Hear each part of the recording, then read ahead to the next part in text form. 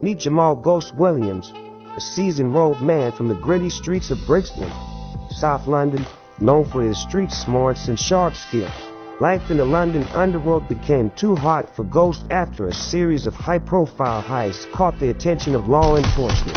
Faced with the looming threat of arrest, Ghost decided it was time to disappear. With family ties in Los Santos, Ghost saw an opportunity for a fresh start. His cousin, Tashi, had relocated to the city years ago and established herself in the bustling world of business. Seeing LS as a place to lay low and reconnect with family, Ghost packed his bags, leaving behind the familiar chaos of London's underworld. As Ghost arrives in Los Santos, he quickly realizes that the city has its own share of challenges and opportunities. Drawn into the fast-paced life of the LS gang scene, Ghost street instincts kicking as he navigates the dangerous landscape of rival gangs, corrupt officials, and ambitious criminals. The YouTube series London Heat to LS Streets follows Ghost's journey as he tries to build a new life while grappling with the shadows of his past.